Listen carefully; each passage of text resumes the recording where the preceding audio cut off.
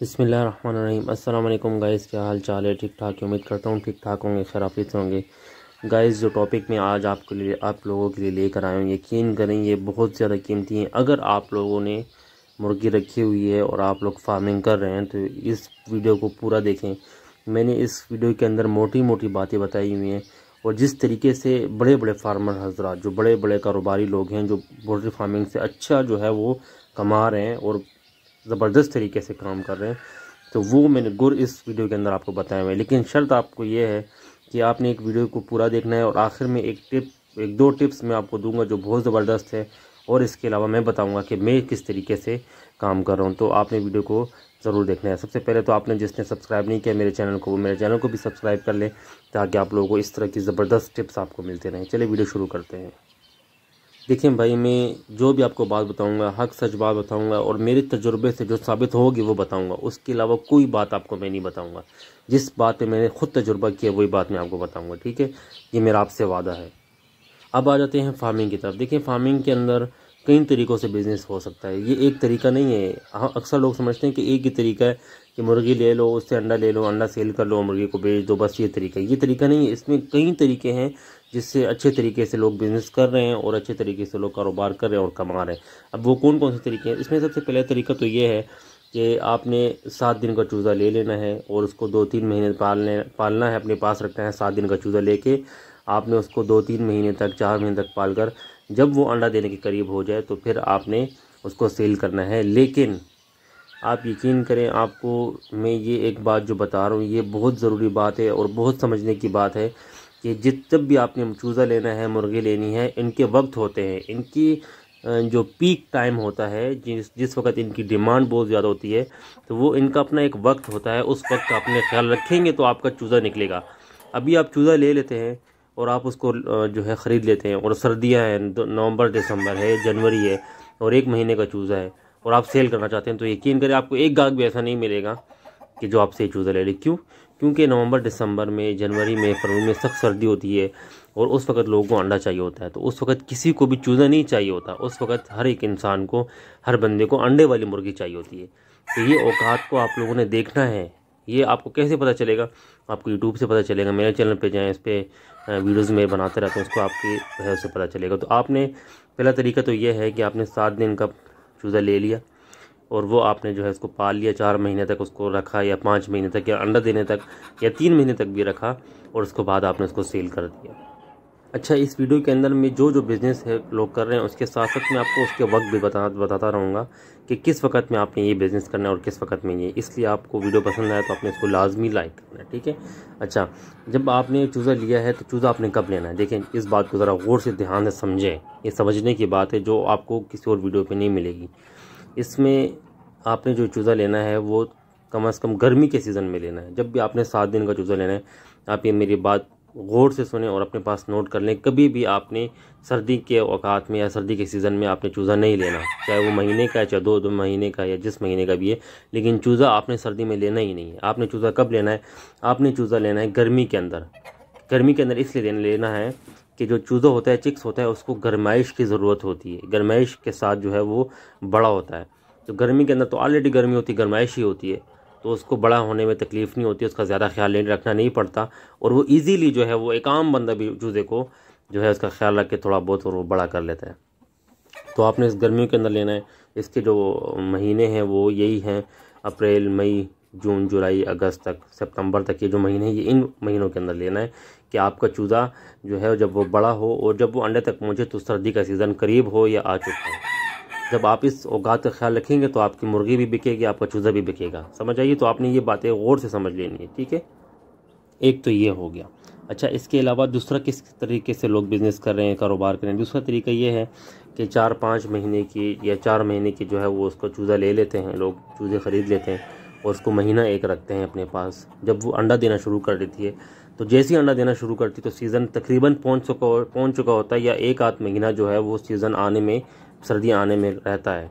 तो जैसे ही वो अंडा देना शुरू करती है तो उस वक्त बहुत ज़्यादा डिमांड हो जाती है। यकीन करें, इतनी डिमांड हो जाती है कि सत्रह सत्रह सौ, अठारह अठारह सौ की एक एक मुर्गी जो है वो अंडे वाली सेल होती है जब सर्दी का सीज़न शुरू होता है और बहुत ज़्यादा डिमांड होती है। तो आपने जैसे ही एक महीना उसको रख लिया, चूज़ों को ले लिया, जितना आप ले ले सकते हैं, जितना आपका बस चलता है, पंद्रह ले लें, बीस ले लें, पच्चीस ले लें, जितना आप ले सकते हैं, वो ले लिया और फिर उसके बाद आपने उसको रख लिया और उसको जब सेल करेंगे आप तो सर्दी के अंदर डिमांड भी ज़्यादा होगी और अच्छे रेट पे जो है वो आपका फ्लॉक जो है वो निकल जाएगा। एक तरीका तो ये है। अच्छा इसके अलावा एक और तरीका वो ये है कि आप फ्लाग सेल नहीं करते।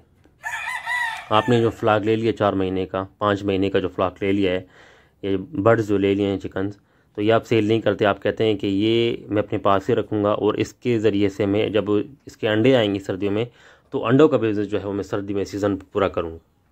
ये भी बहुत ज़बरदस्त तरीका है। इस तरीके से भी लोग करते हैं कि आपने पूरा फ्लॉक को रखा, अंडे आ रहे हैं, अंडे का रेट देखे कहाँ से कहाँ पहुँच गए चालीस से पैंतालीस रुपये देसी अंडा का रेट जो आज की डेट में, ये अभी जो दिसंबर तेईस चल रहा है, इसमें जो है वो रेट चल रहा है और बहुत महँगा और बहुत ज़बरदस्त तरीके से लोग बिज़नेस कर रहे हैं। मेरे पास एक फ्लाग खुद भी ऐसा है जो आपको नज़र आ रहा है, ये अंडों के कारोबार के लिए ही मैं इस्तेमाल कर रहा हूँ। तो ये बहुत ज़बरदस्त तरीका है, इस तरीके से भी आप कारोबार कर सकते हैं। अच्छा आप कहते हैं कि अभी कुछ लोग ऐसे होंगे कि वो कहते हैं कि हम ना चूज़ा ले सकते हैं, ना हम उसको पाल सकते हैं, न दूसरा ऑप्शन भी कर सकते दूसरा जो ऑप्शन है वो भी हम नहीं कर सकते कि हम चूज़े को ले लें तीन चार महीने का, एक महीना रख लें, एक आध महीना जब वो अंडा देना शुरू करते हैं फिर सेल कर दें, ये भी हम नहीं कर सकते। तो उन लोगों के लिए, जो लोग ये काम नहीं कर सकते, उन लोगों के लिए इससे भी आसान ऑप्शन जो यकीन करें, बिल्कुल हलवा है और यकीन करें कि लोग इतने ज़बरदस्त तरीके से इसमें अंदर काम कर रहे हैं ना, कि अच्छा खासा पैसा कमा रहा है कमा रहे हैं। अच्छा वो काम क्या है? वो ये है कि आपने, जब जैसी सीज़न शुरू होने वाला होता है तो आपने करना ये है कि आपने किसी जानने वाले से, या आपका जानने वाला नहीं भी है तो आपने किसी से जो है वो मुर्गी को ले लेना है। तैयार मुर्गी को लेना है, जो पाँच महीने की है, साढ़े पाँच महीने की छः महीने की, जिसने अभी अंडा देना शुरू कर दिया है। वो आपने फ्लॉक ख़रीद लेना है। और उसको दो सौ रुपये कम अज़ कम दो सौ रुपये तीन सौ रुपये महँगा जो है वो फ्लॉक आराम से सेल हो जाता है। क्योंकि उस वक्त डिमांड बहुत ज़्यादा होती है, सर्दी शुरू होती है, उस वक्त अंडे वाली मुर्गी की डिमांड ज़्यादा होती है। तो दो तीन सौ रुपये पर मुर्गी को आप जो है अगर सेल करेंगे तो आपको इजीली वो सेल हो जाएगी, ख़ास तौर पे शहरों में। शहरों में अक्सर लोगों को दो मुर्गी चाहिए होती है, तीन मुर्गी चाहिए होते हैं, चार इस तरह मुर्गियाँ जो चाहिए होती हैं। तो अगर आप पूरा फ्लॉक सेल नहीं भी करते तो आप तीन तीन, चार चार करके अच्छे रेट पर आप सेल कर दें और आपको बस एक हफ़्ते के अंदर अंदर जो है फ्लॉक आपने ख़रीदा और उसको सेल किया और उसके पैसे आपको मिल गए। अच्छा अब बारी आती है कि ये सब तरीके तो मैंने बताया। अब बारी आती है कि मैं किस तरीके से काम करूँ और मैं किस तरीके से जो है वो उस पोल्ट्री फार्म से अर्न कर लूँ। देखें, मैं तीन चार महीने का फ्लॉग ले लेता हूँ। सर्दी आने से भी एक महीना, दो पहले। तो जब वो फ्लॉग मैंने ले लिया, वो सर्दी आने से पहले ही उनका अंडा शुरू रहता है। अंडा जब शुरू रहता है, उनका अंडा स्टार्टर अंडा होता है। तो जब मुर्गी अंडा देना शुरू करती है तो उसका स्टार्टर अंडा जो है वो छोटे साइज़ का होता है या नुकदार होता है या उनका साइज़ ठीक नहीं होता तो एक आध महीना जो है वो अंडा चलता रहता है। उनका वो उस वक्त दरमियाना मौसम होता है, सर्दी शुरू हुई नहीं होती, उस वक्त सही तरीके से। तो वो उनका अंडा जो है वो दरमियाना होता है मतलब छोटा साइज़ का होता है। जब सर्दी शुरू होती है तो मुर्गी ऑलरेडी एक महीना अंडा दे चुकी होती है और उसका साइज़ भी अब ठीक हुआ होता है। तो मैं पूरा सीज़न जो है वो अंडों का बिज़नेस करता हूँ। और पूरा सीज़न जो है वो अच्छे रेट पर अंडा सेल करता हूँ। यकीन करें, घर से लोग आगे लेके जाते हैं। मुझे भी, मुझे कहीं जाने की ज़रूरत नहीं है, किसी को देने की ज़रूरत नहीं है, किसी को बताने की ज़रूरत नहीं है कि भाई अंडे जो है बड़े। बस सिर्फ़ एक दफ़ा जो है वो पता चल जाए लोगों को, भाई इधर यहाँ पर अंडे मिल रहे हैं तो वो मुझे खुद व्हाट्सअप पे मैसेज करते हैं कि भाई मेरे लिए जो है दो दर्जन अंडे रख लें, तीन तीन दर्जन जो है वो अंडे रख लें। तो इस तरीके से जो है वो अंडे में सेल कर देता हूँ। और जब सीज़न जैसे ही ऑफ़ होता है तो एक सीज़न के बाद में वो जवान मुर्गी होती है, वो उसका मतलब सीज़न आप अगला भी अगर करना चाहें तो एक जवान मुर्गी की होती है तो इस पर आप अगला सीज़न भी कर सकते हैं। लेकिन मैं अगला सीज़न जो है वो नहीं करता, सिर्फ़ एक सीज़न चलाकर वो मुर्गी जो है वो अच्छे रेट पे मैं सेल कर देता हूँ और सर्दी ख़त्म होने के बाद सेल नहीं करता। देखिए ये तरीका है सेल करने का। आप ये सीख लें और उसको समझ लें। मुर्गी सेल करनी है सीज़न ख़त्म होने के बाद नहीं। सीज़न ख़त्म होने में कुछ टाइम बाकी हो मतलब एक चार, एक बीस दिन बाकी हो या महीना के कोई लगभग हो कि भाई आप जब मुर्गी का रेट हो, उस वक्त अच्छा निकल रहा हो। क्योंकि ऑलरेडी आपका जो है सीज़न ऑफ़ होने वाला होता है तो आपने ऐसे वक्त में सीज़न जो है वो बर्ड्स को सेल करना है, जब आपको रेट अच्छा मिल जाए। जब आपको अच्छा रेट मिल जाएगा, एक तो आपके जो वो मुर्गियों के पैसे हैं, उसके आपको अच्छा रेट मिल गया, दूसरा आपने पूरा सीज़न बिज़नेस भी कर लिया। तो ये चंद तरीके हैं जो मैंने आपको बताए हैं।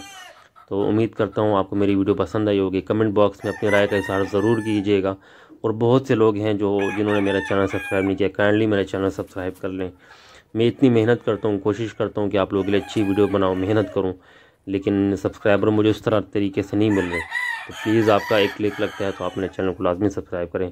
मिलते हैं नेक्स्ट वीडियो में, जब तक अपना ख्याल रखिएगा। अल्लाह हाफिज़।